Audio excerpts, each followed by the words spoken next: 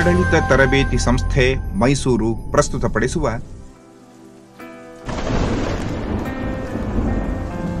ನಗರ ಪ್ರವಾಹಗಳು. ಮಳೆ ಪ್ರಕೃತಿಯ ಹಲವು ವಿಸ್ಮಯಗಳಲ್ಲಿ ಒಂದು. ಮಳೆ ತರುವ ಸುಂದರ ಅನುಭೂತಿ, ಹೊಸ ಉರುಪು, ಅನನ್ಯ. ಮಳೆಯ ಮೊದಲ ಸ್ಪರ್ಶವೇ ಗಿಡ ಮರಗಳು ಪ್ರಾಣಿ ಪಕ್ಷಿಗಳಲ್ಲಿ ನವ ಚೇತನವನ್ನು ಅರಳಿಸುತ್ತದೆ. ಮಳೆಯ ಸಿಂಚನಕ್ಕೆ ಗರಿಕೆ ಕುಡಿಯೊಡೆಯುತ್ತದೆ. ನೆಲ ಹಸಿರಾಗುತ್ತದೆ.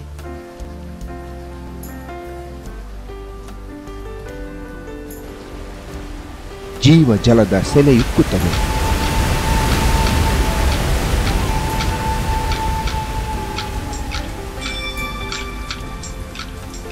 ಮಾನವನ ಬದುಕಿಗೂ ತುಂಬ ಸಹಕಾರಿಯಾದ ಮಳೆ. ಕೊಳೆಯನ್ನು ತೊಳೆದು ಬೆಳೆಯನ್ನು ಬೆಳೆಸುತ್ತದೆ.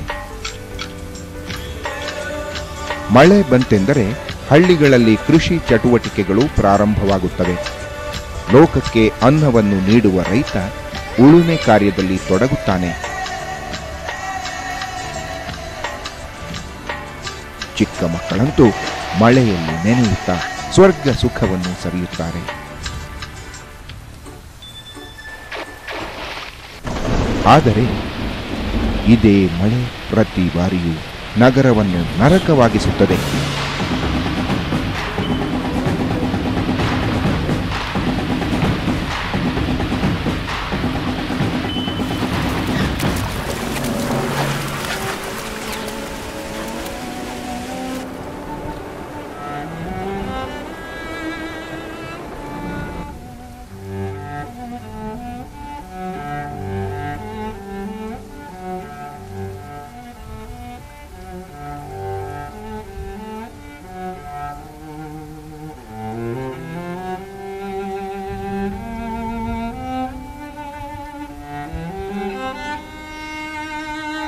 ಪ್ರತಿ ವರ್ಷವೂ, ಪ್ರತಿ ಮಳೆಗೂ ನಗರಗಳು ಅಪಾರ ಪ್ರಮಾಣದ ಜೀವ ಆಸ್ತಿ ನಷ್ಟದ ಕಹಿ ಘಟನೆಗಳಿಗೆ ಸಾಕ್ಷಿಯಾಗುತ್ತವೆ.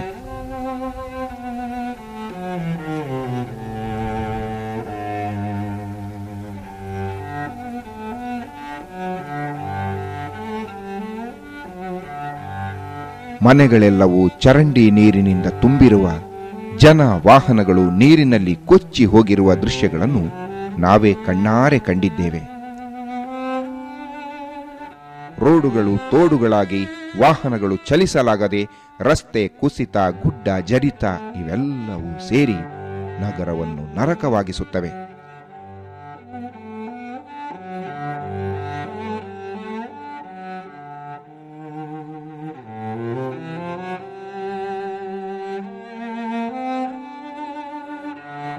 ಹಾಗಾದರೆ ಇದಕ್ಕೆಲ್ಲ ಕಾರಣಕರ್ತರು ಯಾರು? ನಾವೇ? ನೀವೇ? ಅಥವಾ ಇನ್ಯಾರು? ಇನ್ಯಾರು? ಇನ್ಯಾರು? ಇನ್ಯಾರು? ಇನ್ಯಾರು? ಇನ್ಯಾರು?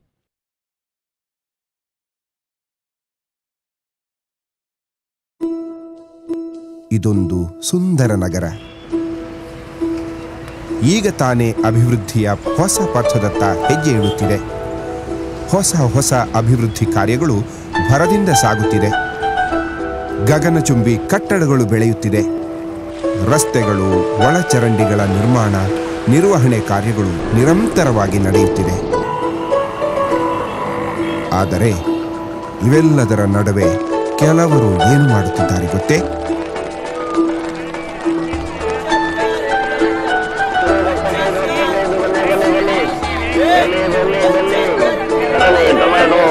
ಬನ್ನಿ ಹತ್ತಕ್ಕೈದು ಹತ್ತಕ್ಕೈದು ಹತ್ತಕ್ಕೈದು ಹತ್ತಕ್ಕೈದು ಹತ್ತಕ್ಕೈದು ಬನ್ನಿ ಬನ್ನಿ ಬನ್ನಿ. ಆ ಎಲ್ಲ ಹತ್ತಕ್ಕೈದಪ್ಪ ಹೀರೆಕಾಯಿ ಒಳ್ಳೆ ಉಂಟಾ? ಆ ಎಲ್ಲ ಫ್ರೆಶ್ ಮಾಲ್. ಹೀರೆಕಾಯಿ ಏನು ಕಮ್ಮಿ ಇಲ್ವಾ? ಏನು ಈ ಸೀಸನ್ ಟೈಮಲ್ಲಿ ಕೇಳ್ತಿರಲ್ವಾ? ತಗೊಳ್ಳಿ. ಸರಿ. ಓಕೆ. ಬನ್ನಿ ಬನ್ನಿ ಬನ್ನಿ. ರೀ ಯಾಕ್ರಿ? ಕಸ ಇಲ್ಲಿ ಬಿಸಾಡ್ತೀರಾ? ಹೋಗಮ್ಮ ನಿಮ್ ಕೆಲಸ ನೋಡ್ಕೊ ಹೋಗ್. ಅಷ್ಟು ಗೊತ್ತಾಗಲ್ವೇನ್ರಿ ನಿಮ್ಗೆ? ಹಿಂಗ್ ಕಸ ತುಂಬಿಸ್ತಾ ಇದ್ರೆ ಚರಂಡಿ ನೀರು ಹೋಗುತ್ತೇನ್ರಿ? ಮುಂದಿನ ಮಳೆಗಾಲದಲ್ಲಿ ಊರೆಲ್ಲ ನೀರ್ ತುಂಬ್ಕೊಂಡ್ ಬಿಡುತ್ತೆ ಅವಾಗೇನ್ ಮಾಡ್ತೀರಿ?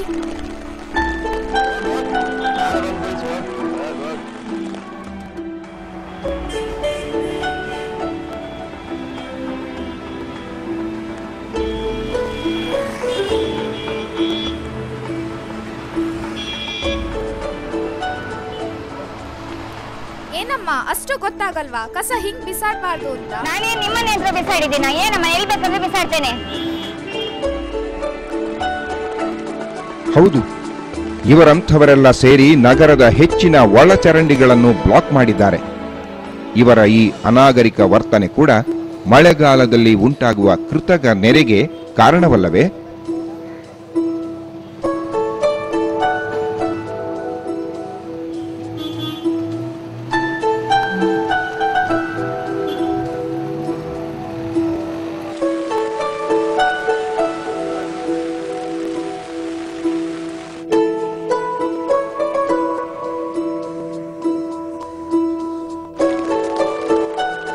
ಬನ್ನಿ ಇಲ್ಲೊಮ್ಮೆ ನೋಡಿ. ಭರದಿಂದ ನಡೆಯುತ್ತಿರುವ ಅಭಿವೃದ್ಧಿ ಕಾರ್ಯಗಳ ನಡುವೆ ಆಗುವ ಲೋಪದೋಷಗಳನ್ನು ನೋಡಿ.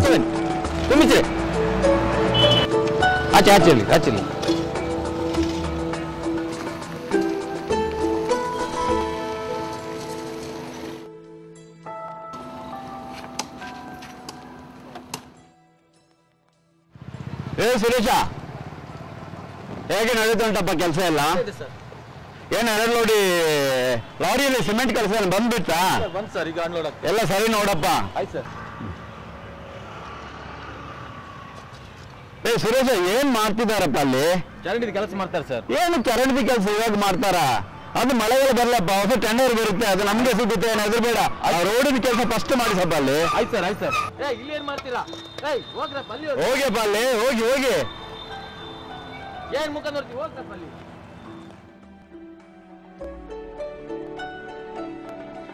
ಇಂತಹ ಅವೈಜ್ಞಾನಿಕ ಅಭಿವೃದ್ಧಿ ಕಾರ್ಯಗಳಿಂದಾಗಿ ಹೆಚ್ಚಿನೆಲ್ಲ ರೋಡುಗಳಿಗೆ ಚರಂಡಿ ವ್ಯವಸ್ಥೆಯೇ ಇಲ್ಲ.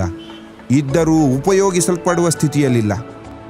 ಹೀಗಾದರೆ ಮುಂದಿನ ಮಳೆಗಾಲದಲ್ಲಿ ನೀರು ಹರಿಯುವುದಾದರೂ ಹೇಗೆ?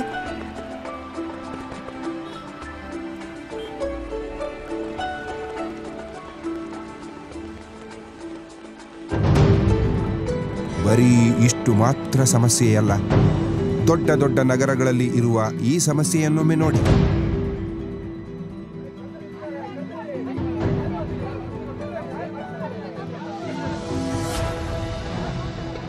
ರೀ ನಿಮ್ ಮನೆ ಕಾಯೋಗ? ಇಡೀ ಒಟ್ಟಾರ್ದಾಗಿ ನೀರ್ ಹೋಗೋಕೆ ಇರೋದೊಂದೇ ಜಾಗ. ಇದ್ರಲ್ಲೇ ನೀವು ಬಿಲ್ಡಿಂಗ್ ಕಟ್ಟಿದ್ರೆ ಹೆಂಗ್ರಿ? ರೀ ಅದು ನಮ್ಮ ಹತ್ರ ಎಂತ ಹೇಳ್ತೀರಿ? ನೀವು ನಿಮ್ಮ ಮುನ್ಸಿಪಾಲಿಟಿ ಇಲ್ಲಾಂದ್ರೆ ನೀವು ಇಲ್ಲಾಂದ್ರೆ ವಾರ್ಡ್ ಮೆಂಬರ್ ಕಂಪ್ಲೇಂಟ್ ಮಾಡಿ ನಮ್ಮ ಹತ್ರ ಯಾಕೆ ನಾವು ಆಮೇಲೆ ಬಿಲ್ಡಿಂಗ್ ಸ್ಟಾರ್ಟ್ ಮಾಡಿದ್ದೇವಲ್ಲ ಇಲ್ಲಿ. ಊರಲ್ಲಿರೋ ಕೆರೆಗಳನ್ನೆಲ್ಲ ಹಿಂಗ್ ಮುಚ್ಚಿದ್ರೆ ಮಳೆಗಾಲದಲ್ಲಿ ನೀರು ಎಲ್ಲಿಗೆ ಹೋಗ್ಬೇಕು? ಈ ಜಾಗದಲ್ಲಿ ನೀವು ಹೆಂಗೆ ಬಿಲ್ಡಿಂಗ್ ಕಟ್ಟಿದ್ರೆ ನಾವು ನೋಡ್ತೀರಿ? ಅಲ್ಲೇ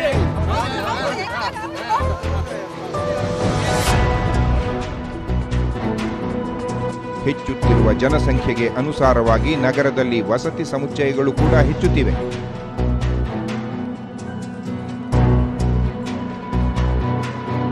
ಇದರ ನೆಪದಲ್ಲಿ ನೈಸರ್ಗಿಕವಾಗಿ ಇದ್ದ ಕೆರೆಗಳು, ನೀರಿನ ಹರಿವುಗಳು ಅಕ್ರಮವಾಗಿ ಮುಚ್ಚಿ ಹೋಗಿವೆ. ಇದನ್ನು ತಡೆಯುವುದು ಹೇಗೆ?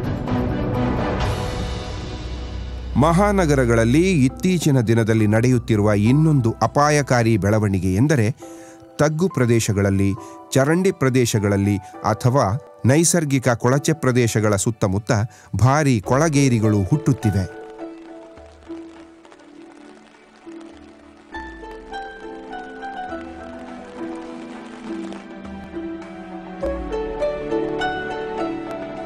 ಇದರಿಂದಾಗಿ ಮುಂದಿನ ಮಳೆಗಾಲದ ಸಂದರ್ಭಗಳಲ್ಲಿ ಇವರೇ ಅಪಾಯಕ್ಕೆ ಒಳಗಾಗುವವರಲ್ಲವೇ? ಇವೆಲ್ಲದರ ನಡುವೆ ಬಹುತೇಕ ರಸ್ತೆಗಳಿಗೆ ಸರಿಯಾದ ಚರಂಡಿ ವ್ಯವಸ್ಥೆ ಇಲ್ಲ ಅಥವಾ ಇದ್ದರೂ ದುಸ್ಥಿತಿಯಲ್ಲಿದೆ. ನೈಸರ್ಗಿಕ ನೀರಿನ ಹರಿವಿಗೆ ತಡೆಯೊಡ್ಡಲಾಗಿದೆ.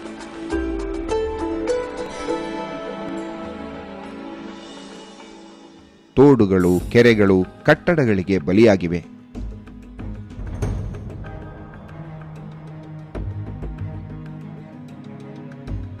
ಅಲ್ಲದೆ, ಅತಿಯಾದ ಪ್ಲಾಸ್ಟಿಕ್ ಬಳಕೆ ಮತ್ತು ತ್ಯಾಜ್ಯಗಳ ಅಸಮರ್ಪಕ ನಿರ್ವಹಣೆಯಿಂದ ಭೂಮಿಯಲ್ಲಿ ನೀರು ಇಂಗುವುದಕ್ಕೆ ತಡೆಯಾಗಿದೆ. ನಗರಗಳಲ್ಲಿ ನಡೆಯುವ ಇಂತಹ ಸಣ್ಣ ಪುಟ್ಟ ತಪ್ಪುಗಳು ಮುಂದಿನ ಮಳೆಗಾಲದ ಮಹಾ ದುರಂತಕ್ಕೆ ಮುನ್ನುಡಿ ಬರೆಯುತ್ತದೆ. ಇಂತಹ ಅಪಾಯಕಾರಿ ಸನ್ನಿವೇಶದಲ್ಲಿ ನಾವೆಲ್ಲರೂ ತೆಗೆದುಕೊಳ್ಳಬಹುದಾದ ಕೆಲವು ಸುರಕ್ಷಾ ವಿಧಾನಗಳಿಂದಾಗಿ ಅತ್ಯಮೂಲ್ಯ ಜೀವಹಾನಿ ಅಥವಾ ಆಸ್ತಿ ಹಾನಿಯನ್ನು ತಪ್ಪಿಸಬಹುದು. ಅವುಗಳೆಂದರೆ ಟಿವಿ ನೋಡಿ ರೇಡಿಯೋ ಕೇಳಿ ಮುಂಗಡ ಮಾಹಿತಿ ಹಾಗೂ ಸಲಹೆ ಪಡೆಯಿರಿ. ಜನರ ನಿತ್ಯ ಬೆಟ್ಟು ಬಿಡದೆ ಬೀಳ್ತಾ ಇರುವ ಮಳೆಗೆ ಜನಜೀವನ ಸಂಪೂರ್ಣ ಅಸ್ತವ್ಯಸ್ತಗೊಂಡಿದೆ. ನೆರೆಯ ಬಗ್ಗೆ ನಿಮ್ಮ ಕುಟುಂಬದೊಂದಿಗೆ ಚರ್ಚಿಸಿರಿ. ಎಲ್ಲ ವಿದ್ಯುತ್ ಉಪಕರಣಗಳ ವಿದ್ಯುತ್ ಸಂಪರ್ಕವನ್ನು ಕಡಿದು ಹಾಕಿರಿ ಹಾಗೂ ಎಲ್ಲ ಬೆಲೆ ಬಾಳುವ ಸಾಮಾನುಗಳು ಮತ್ತು ಬಟ್ಟೆ ಬರೆಗಳನ್ನು ನಿರೀಕ್ಷಿತ ನೆರೆ ನೀರಿಗಿಂತ ದೂರವಿಡಿ. ಸಾಕು ಪ್ರಾಣಿಗಳು ಹಾಗೂ ಚಲಿಸಬಹುದಾದ ವಸ್ತುಗಳನ್ನು ಅತಿ ಎತ್ತರದ ನೆಲೆಗೆ ಸಾಗಿಸಿರಿ.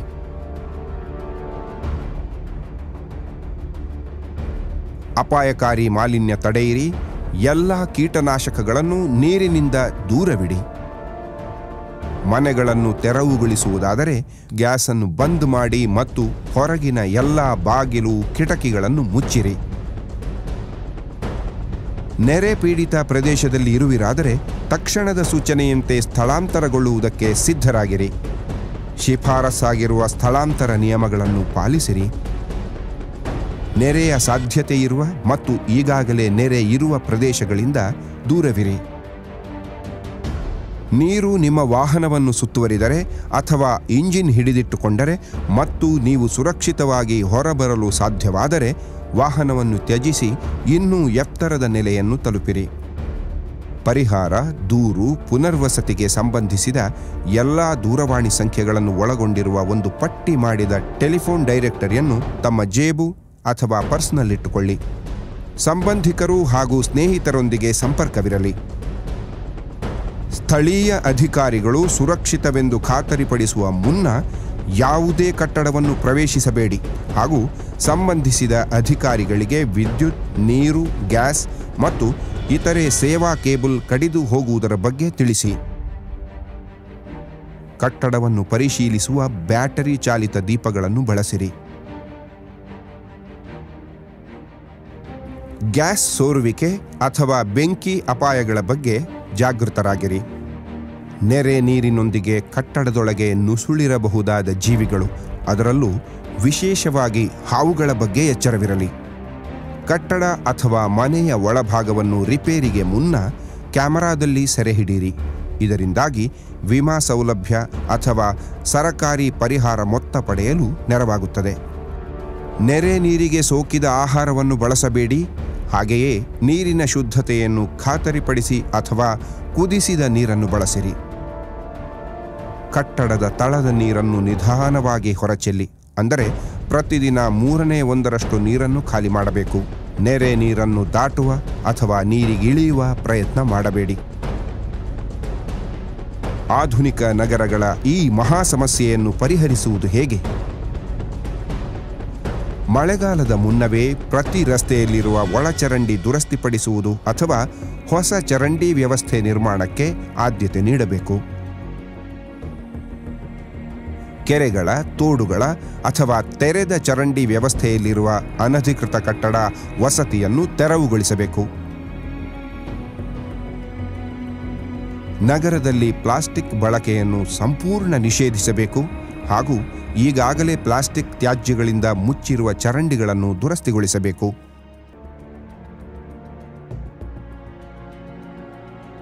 ಮುಖ್ಯವಾಗಿ ಅಗಲವಾದ ಒಳಚರಂಡಿ ವ್ಯವಸ್ಥೆಗೆ ಹಾಗೂ ತೆರೆದ ಚರಂಡಿ ವ್ಯವಸ್ಥೆಗೆ ಹೆಚ್ಚಿನ ಆದ್ಯತೆ ನೀಡಬೇಕು. ಪ್ರತಿ ವಾರ್ಡ್ ಬಡಾವಣೆಗಳ ನಿರ್ಮಾಣ ಸಂದರ್ಭದಲ್ಲಿ ಕಾಲುವೆ ಚರಂಡಿ ವ್ಯವಸ್ಥೆಗೆ ಪ್ರಾಧಾನ್ಯ ಕೊಡುವುದರಿಂದ ಆಯಾ ವಾರ್ಡುಗಳ ಮಳೆ ನೀರು ಅಥವಾ ಕಲ್ಮಶ ನೀರು ಸುಲಭವಾಗಿ ಹರಿಯುವಂತೆ ಮಾಡಬಹುದು.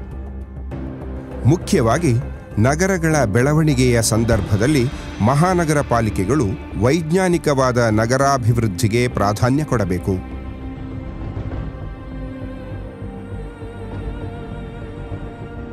ಪ್ರತಿ ನಗರಗಳ ವಾರ್ಡ್, ಬ್ಲಾಕ್ ಮಟ್ಟದಲ್ಲಿ ನಾಗರಿಕ ರಕ್ಷಣಾ ವ್ಯವಸ್ಥೆಯನ್ನು ಬಲಪಡಿಸಬೇಕು. Civil defence role is to help citizens prepare to respond during and after disaster. Civil defense trains the citizens in first aid, fire safety, rescue missions, and there are also specialized training like rifle training and water management training. ಸ್ಥಳೀಯ ದುರ್ಘಟನೆಗಳ ಸಂದರ್ಭದಲ್ಲಿ ಸ್ವಯಂ ಸೇವಕರ ಪಾತ್ರವನ್ನು ಹೆಚ್ಚಿಸಬಹುದು ಮತ್ತು ನಾಗರಿಕರಲ್ಲಿ ಸುರಕ್ಷತೆಯ ಪ್ರಜ್ಞೆಯನ್ನು ಹೆಚ್ಚಿಸಬಹುದು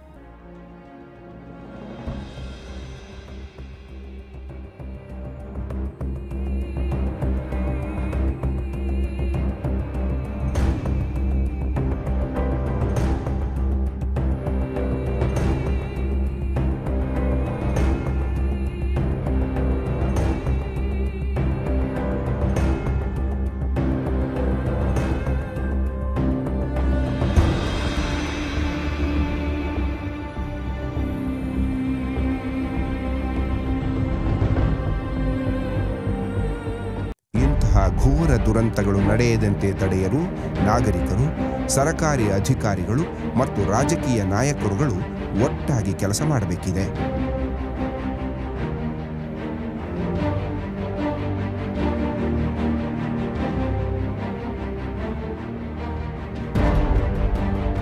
ಆಧುನಿಕ ಮಾನವನ ನಾಗರಿಕತೆಯ ಪ್ರತೀಕವಾದ ನಗರಗಳನ್ನು ನರಕವಾಗಿಸದೆ ಸ್ವರ್ಗವನ್ನಾಗಿಸುವ ಆ ಮೂಲಕ ನಮ್ಮ ಮುಂದಿನ ಪೀಳಿಗೆಗೆ ಹೊಸ ಭವಿಷ್ಯಕ್ಕೆ ಸುಭದ್ರ ಸುಂದರ ನಗರಗಳನ್ನು ನಿರ್ಮಿಸುವುದೇ ನಮ್ಮ ನಿಮ್ಮೆಲ್ಲರ ಜವಾಬ್ದಾರಿ.